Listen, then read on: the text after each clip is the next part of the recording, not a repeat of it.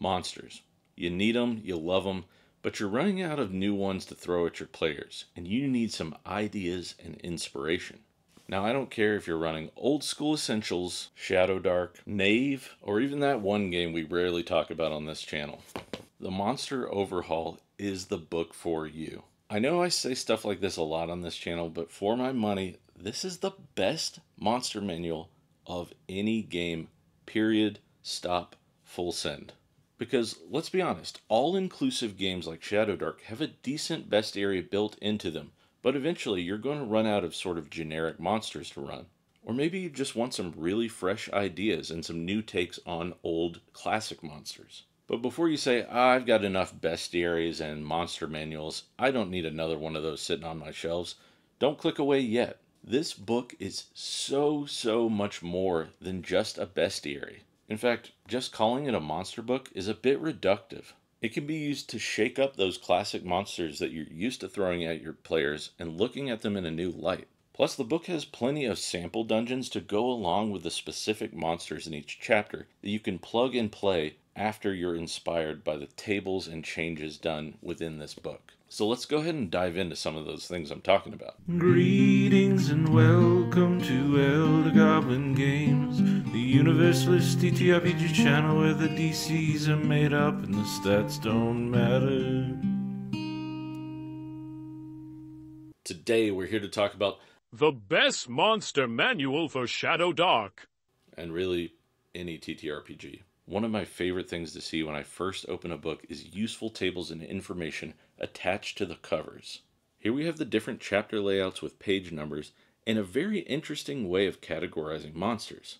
This also works as a really great table for inspiration if you have no idea what to throw in your dungeon.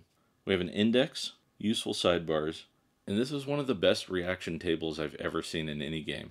It covers feral monsters, general, grandiose, and unusual. Then we have reasons for an encounter based on whether those monsters are bestial, intelligent, scheming, or outsiders. Then we have situations, impediments, twists, and formations. And this is one of my favorite tables I haven't seen in really any other monster book where they find you and the weather. Here we have elements, vices, and virtues, local attitudes, and what they value. We have some unique features and textures that can be added to any generic monster. And I really love this table of generic monster upgrades. Just look at this.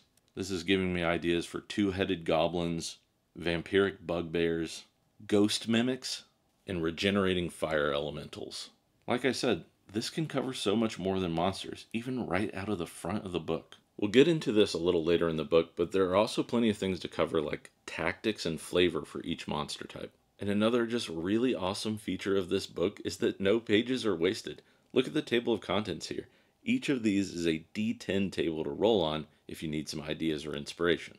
Take a drink every time I say ideas and inspiration for this video. And while we're here, I just want to say I really love how the monsters in this book are grouped in very interesting pairings.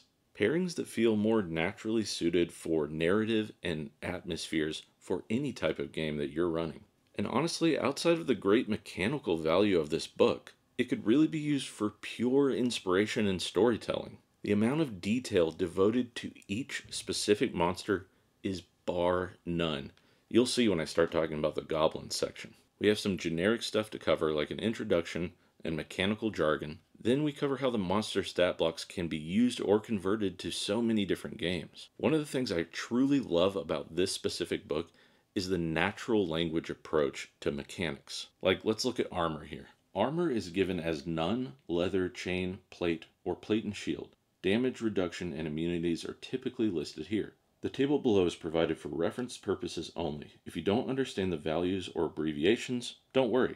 Any GM running a system will have a fairly good idea of what armor as leather means in that system and when to adjust a creature's armor. Then we have like our old versions like THAC0, and of course ascending AC for games like Shadowdark and 5e, and a simplified idea of things like movement, morale, special effects, and abilities. I mean, just look at the plain language here used for these different effects. Immobilized. Can't move, automatically hit. Regenerates. Heal a set amount each round, up to but not beyond the creature's maximum HP. Maybe you're starting to see how I really mean it when I say these can be used in any game. There's a great section here about tactics for different types of monsters, whether they're hungry, trapped and startled, supremely confident, or impaired. tactics for social creatures, misinterpreted signals, the glory of nature, and the action economy. And I mean, just look at this full page art. If I do have one complaint about this book, it's that the size is a sort of double edged sword. While it's awesome and great to have at the table when you're referencing it, it doesn't even fit on my bookshelves. I'm just going to do a little quick flip through here so you can get an idea of some of the things that are in this book. Here's the section on people monsters,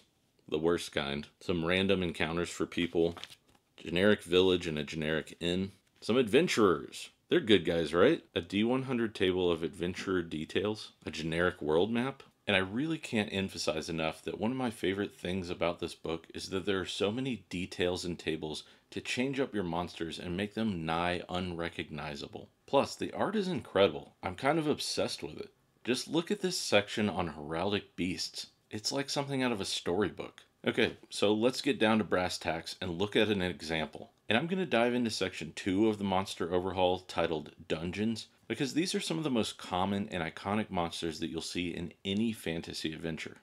First, we get a blurb about dungeons, an omen table fit with random encounters that match monsters from other sections of the book. Then, monsters by hit die, some might think of this as CR, dungeon ideas for those monsters, omens and encounters for the monsters in this section of the book, combined omens and encounters for monsters that fit well together, and then a very interesting where they find you table including corridors, rooms, and other features. This book also features a really nice ribbon, which is something I'm really starting to appreciate in my physical books. Then we get into the meat of the monster stat blocks, which includes an entire page worth of table ideas and inspiration. For completely unbiased reasons, we're going to look at the goblin as our example. We start with number appearing, HD or HP, generic appearance, voice, wants, morality, intelligence, armor, damage, abilities, and of course, treasure. All the basic things you expect in your monster stat block. Then we have this awesome goblin table for mixing things up or giving them special abilities, like rubberized goblins that are immune to fall damage. I also really love that they included these menu options with things like flavor and notes, just in case you have the kind of party that likes to kill a monster and harvest their parts. And these tables are just jumping off points. Maybe you see a table in here it's not quite fitting what you'd imagine, but it is enough to get you inspired to do something similar or to create your own idea. Then we see what these particular goblins were up to when you found them. And oh, my friends, the level of detail in this book. Goblins get a lot of love here, and I'm just going to go through the next section really quickly. Alright, so we have goblin names, things that goblins may have or use, goblin loot, where they come from, some goblin trivia, Goblin Fears. I love this. Desperate, endearing goblin tricks. Goblin leadership methods. Then, because goblins are one of the more prominent creatures in any fantasy world, we get an entire page devoted to the Goblin War Engine, which has different sections and is just a really fun idea. This section on the Goblin War Engine deserves a quote from the old granddaddy of fantasy himself, Tolkien. Now, goblins are cruel, wicked, and bad hearted. They make no beautiful things, but they make many clever ones. Okay, I'm getting way off track here. And on top of this, each chapter includes a generic creature layer specific to one of the creatures within that chapter. For those of you who are counting, that's about 20 layers for you to take from this book, take a monster from that chapter, and plug it into that dungeon. The example given in chapter 2 is, of course, one of the most iconic dungeon monsters, the Lich Lair. I won't waste too much time on this generic layer, but there's a lot of interesting things here like examples of different liches, where their phylacteries might be hidden, what form they take, and the only way to destroy that phylactery. It's just good stuff. Plus, really easy to run and clean bullet point room layouts. For the love of the gods, old and new, more adventures with bullet point rooms. Okay, so the back of the book also includes this super easy to reference index of all monsters. Not to mention some of the most interesting indexes I've ever seen including an index based on hit dice. And if you don't like the way that the monsters are laid out in the front, this one's alphabetical. So, yeah, that's really what I have to say about this book today. As always, I'm going to state that I'm in no way being compensated to talk about this book. I genuinely think this is the best monster book on the market. I have no idea why more people aren't talking about this. It literally works in like every tabletop role playing game, except maybe Mazes and Crown and Skull. Those games are just very unique. But to be upfront, it's not super cheap either. So if you want the PDF version, that's fine. I think it works all the same. I just really am on a kick these days for having physical media, and I just love the tactileness of flipping through a book and looking at the art. But I totally get that not everyone wants or needs a big chonkin book like this.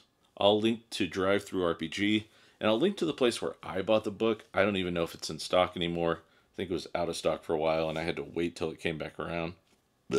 That's it for the monster overhaul. Hey, if you liked this video, please like and subscribe, maybe leave a comment. It really, truly helps this channel grow and to get in front of more eyes like yours so that people can see these books and games that aren't being talked about as much as the big two. It's what I do here on this channel. And if you're new, welcome. Here's another thing you can do to make sure you don't miss the videos and content that I post on this channel. You've got a phone with the YouTube app, right? Click on subscriptions, then at the top here, hit all, then on the right side of the screen, you should be able to see which channels you have hit all on, indicated by a white bell. Make sure that for the channels you really love, like Elder Goblin Games, the little bell is white so that you see everything and not just what YouTube wants you to see or thinks that you'll click on. Just as a personal side note, for something I'm excited about. I recently grabbed a bunch of adventures that I'm super excited about plugging and putting in my Shadowdark game. I was thinking of covering them on maybe a future video, but then I discovered channels like Red Mage GM and Wasabi Burger. So go check out these dudes if you really want to learn about adventures. Their channels cover old school style adventure in amazing detail and are well worth a subscription. And while I'm just shamelessly plugging other channels to you, let me talk about two other channels I really love. House DM who's the person who got me into Shadowdark and through that game a bunch of other old school games. His channel is just a genuine delight to watch. You can tell he's really enthusiastic about the content he creates, and it's not news or drama. And also, I've done a disservice by not mentioning a personal friend of mine who got me into YouTube in the first place. Ginger Whiskered. He's got a channel where he plays niche video games and creates little stories and vignettes into those games. Go check out his stuff, it's really wholesome and fun. I know it's very different than what I'm doing here, but without this dude, you wouldn't have this channel. He encouraged me to make a YouTube channel, taught me how to edit, and made all these great little digital pieces of art you see all around my channel. Go give him a like or a sub, watch a few of his videos. Tell him the goblin sent you. Alright everybody, thanks for watching. I appreciate you guys so much. I know a lot of channels say this, but I have some awesome regulars who are always in the comments, make some really great points and conversations, and bring new games to my attention constantly. Thank you guys for what you do. Thanks for watching, and as always, remember make mistakes, choose chaos, and throw some weird monsters at your players. Have fun.